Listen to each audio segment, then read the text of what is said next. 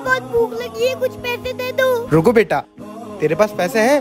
अरे यार मेरा वॉलेट तो घर रह गया। तेरे पास है? अरे भैया जिम में कैश रख लो तो लोंडे सारे खर्च करवा देते। इसलिए मैं तो सारे पैसे पेटीएम में रखता हूँ। बेटा पैसे तो नहीं है एक काम करो तुम ये खा लो।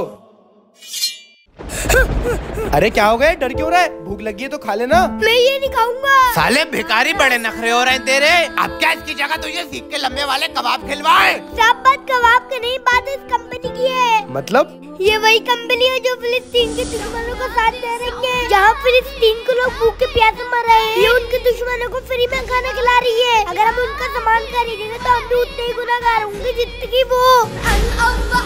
अल्लाह फिलिस्तीन की मुसलमानों की। और मस्जिद अक्सा की हिफाजत बेटा हम भी दुआ करेंगे कि अल्लाह उन सबकी हिफाजत फरमाए। और आज से ये प्रोडक्ट कभी यूज़ नहीं करेंगे।